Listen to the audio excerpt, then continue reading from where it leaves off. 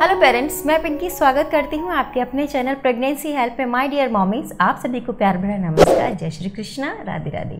Dear mommies उम्मीद करती हूँ आप अच्छी होंगे और आपके नन्हे मुन्ने भी अच्छे होंगे हेल्दी होंगे एंड वेल्दी होंगी। तो डियर मॉमीज आपने कुछ कमेंट्स की हैं मुझे जो कि मैं आज इस वीडियो में उनकी रिप्लाई करने वाली हूँ। और आपसे मेरी रिक्वेस्ट है कि अगर मैं आपके क्वेश्चंस की रिप्लाई नहीं कर पाती हूँ तो प्लीज़ आप बुरा मत मानिएगा। आपके टॉपिक से रिलेटेड आपके क्वेश्चन से रिलेटेड आपको बहुत सारी वीडियोस आपको मेरी प्लेलिस्ट में मिल जाएँगी। तो आप कुछ भी जानना चाहते हो, पूछना चाहते हो तो प्लीज़ आप कमेंट तो करिए।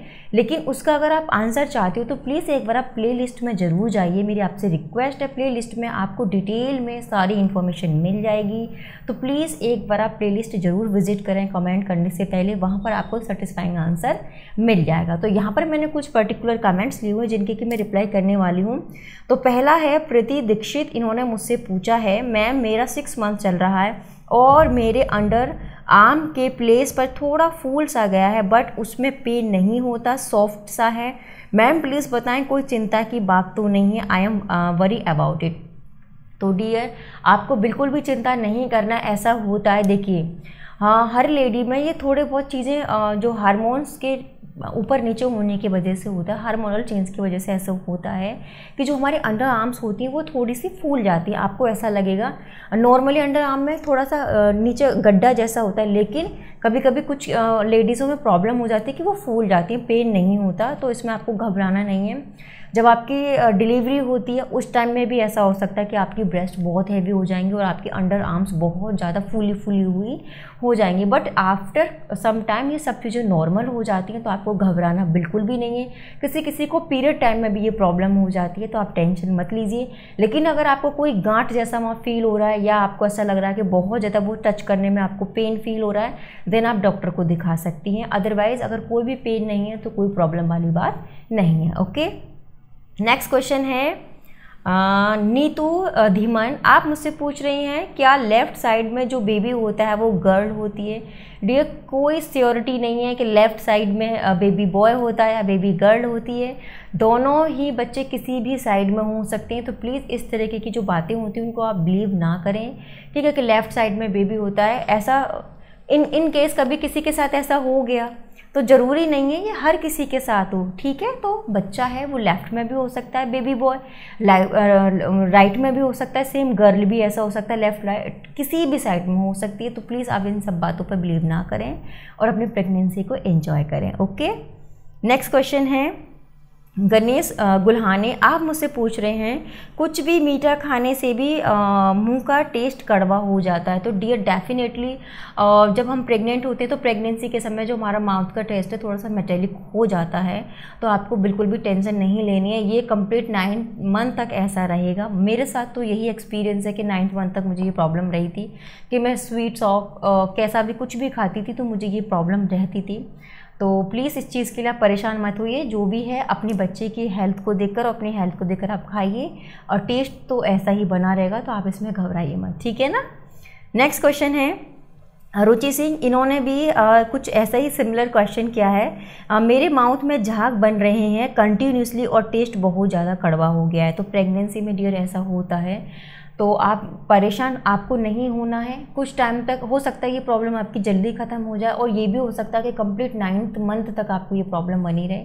तो प्लीज़ आपको घबराना नहीं है टेंशन मत लीजिए, अपनी प्रेगनेंसी को आप एंजॉय करिए ओके ऐसा होता है मोस्टली प्रेग्नेंट लेडी के साथ ऐसा होता है ओके नेक्स्ट क्वेश्चन है, रजनी नागर, आप मुझसे पूछ रही हैं मैम सेवेंथ मंथ लास्ट है और सेवेंथ मंथ लास्ट है और मंथ स्टार्ट होने वाला है तो कितना टाइम और किस टाइम वॉक करना है? देखिए डियर चाहे सेवन्थ मंथ स्टार्ट हो और चाहे एट्थ मंथ आपको कंप्लीट जब से ही हमारी प्रेगनेंसी स्टार्ट होती है, तभी से हमें वॉक करना चाहिए एक्टिव रहना चाहिए। घर के काम है जो भी रूटीन के वो सारे काम करना चाहिए। मोस्टली क्या होता है कि प्रेगनेंसी के समय जो लेडीज़ होती है बेड रेस्ट पर चली जाती है और उनका क्या होता है कि बच्चा एक्टिव नहीं होता और सिजेरियन की नौबत आ जाती है। बट आपको, अगर आपका सेवन्थ मंथ चल रहा है तो आप कम से कम एक पौन घंटा आप सुबह के टाइम सेम प्रोसेस आपको शाम के टाइम जब भी आप फ्री हो जाते हैं घर के कामों के बाद तो आप ज़रूर वॉक करिए। वॉक करना बेहद ज़रूरी है। हमारे लिगामेंट हैं, वो वहाँ पे स्पेस बनेगा। बच्चों की जो बेबी की डिलीवरी होगी तो उसके लिए स्पेस बनेगा वहाँ पर। बच्चा एक्टिव रहेगा। तो इसलिए आपको डेली वॉक करना है। सुबह शाम डेली आप ज़्यादा नहीं कर सकते तो हाफ़ एन आवर आप ज़रूर वॉक करिए, ठीक है? तो ये आपकी नॉर्मल डिलीवरी के लिए और आपके बच्चे के लिए भी बहुत ज़्यादा अच्छा रहेगा ओके नेक्स्ट क्वेश्चन है स्वरूप ललकार चौहान आप मुझसे पूछ रहे हैं मेरे एक मंथ बाद आ गए ब्लैक ब्ल, ब्लैक ब्लड आ रहा है। एक मंथ बाद आपके ब्लैक ब्लड ब्लड आ रहा है। रिप्लाई प्लीज़ बताओ नॉर्मल है या नहीं? देखिए डियर वैसे तो मैंने आपको कमेंट कर दिया है कि एक महीना हो गया है आपको और आपको ब्लैक कलर का ब्लड आ रहा है तो ये बिल्कुल भी सेफ़ नहीं है। तो प्लीज़ आप इमीडिएटली डॉक्टर को चेक करा लें। प्रेगनेंसी में किसी भी प्रकार की अगर स्पॉटिंग होती है, देखिए सभी इस बात को जान लीजिए, जितनी भी अगर लोग हैं जो मेरी बहनें हैं जो इस वीडियो को देख रही हैं, कि प्रेगनेंसी के फ़र्स्ट सेकंड थर्ड किसी भी टाइम में आपको ब्लीडिंग होती है तो उसको आप लाइटली मत लीजिए। चाहे वो लाइट कलर की हो रही हो, चाहे ब्लैक कलर की हो रही हो, कैसी भी हो रही हो, आपको इमीडिएटली डॉक्टर से बात करनी है। हर किसी की प्रेगनेंसी कंडीशन डिफरेंट होती है। किसी किसी को प्रेगनेंसी भी बनी रहती है और ब्लीडिंग भी होती है, लेकिन नॉर्मल डिलीवरी हो जाती है। किसी किसी के लिए बहुत रिस्की भरा रहता है। तो आपको यहाँ पर किसी भी ब्लीडिंग को स्पॉटिंग को लाइटली नहीं लेना। एक बार आप अपने डॉक्टर से रूटीन चेकअप ज़रूर करवा लीजिए, ठीक है? तो इस बात का आपको ध्यान रखना है। नेक्स्ट क्वेश्चन है आकांक्षा पांडे, आप मुझसे पूछ रहे हैं, मैम, मेरी थ्री मंथ पहले सी सेक्शन डिलीवरी हुई थी, अब मैं फिर से एक मंथ प्रेग्नेंट हूँ। प्लीज़ बताएँ क्या करूँ? यानी तीन महीने पहले ही आपकी सिजेरियन हुआ है और आप एक महीने प्रेग्नेंट ओ डियर प्लीज़ आपको पहले ही इस चीज़ को प्लानिंग करनी चाहिए थी। और अगर जो भी लोग प्लीज़ इस कमेंट का रिप्लाई सुन रहे हैं तो उनके लिए मैं ये बोलना चाहूँगी कि इतनी जल्दी आपकी अभी तो बॉडी ही रिकवर नहीं हुई होगी। आपके अंदर के जो स्टिचेस हैं, वो भी ठीक नहीं हुए होंगे। प्लीज़ आप डॉक्टर से बात करिए और हो सकता है कि फिर इस प्रेगनेंसी में आपको कॉम्प्लिकेशन आ जाए।